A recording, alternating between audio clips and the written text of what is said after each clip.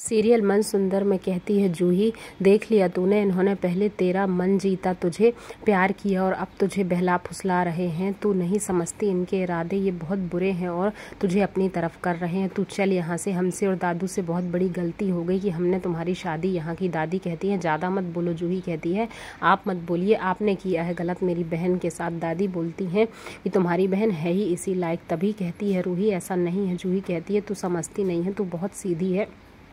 इन लोगों ने हमेशा तेरा फ़ायदा उठाया है और अब देख, जैसे ही सच सामने आया, पहले ही बता दिया था। नाहर कहता है, ठीक है, चले जाओ, तुम्हें जाने को कह रही है तो। जूही बोलती है, देख ले, तेरे पति ने भी जाने को कह दिया। अब तू जा, तुझसे बड़ा मूर्ख कोई नहीं, अगर तू इस घर में रहेगी तो।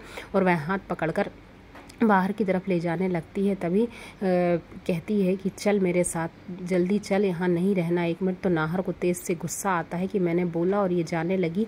तभी जैसे ही बाहर की तरफ़ जा रही होती है वह कदम बाहर रखने वाली होती है तभी उसका हाथ पकड़ लेती है अग्नि और कहती है कि मत जाओ मैं यहाँ रहूँगी। अगर तुम चली गई तो मुझे ठीक कौन करेगा? पहले मुझे ठीक कर दो उसके बाद जाना। तभी कहती है अग्नि कि नहीं तुम्हें नहीं जाना होगा। उन दोनों के ब्रेसलेट टूट जाते हैं, नीचे गिर जाते हैं, गले लग जाती है अग्नि और बोलती है, मुझे छोड़कर मत जाओ दीदी, मुझे आप ही ठीक करोगे। तभी रूही पसीज जाती है और कहती है अग्नि से कि मैं इसे ठीक करके आती हूँ, मुझे पंद्रह दिन का समय दे दे और अगर पंद्रह दिन में ये ठीक नहीं हुई तो मैं अपने आप बैग लेकर आ जाऊँगी। तुम मत परेशान हो, मैं ऐसे किसी मासूम की बात टाल कर नहीं जा सकती और इसे अकेला नहीं छोड़ सकती।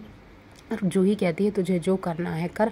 अब तू आ या ना, मुझे कोई फ़र्क नहीं पड़ता। जब तुझे अपने शुभचिंतकों की चिंता नहीं है, तेरी अपनी बहन से तुझे कोई मतलब नहीं है तो तू जा, इसे ठीक कर। जो तुझे करना है कर। रूही कहती है, ऐसा मत बोलो, मैं इस मासूम को छोड़कर नहीं आ सकती। इसलिए ऐसा कह रही हूँ, मैं ज़रूर आ जाऊँगी, तू जा।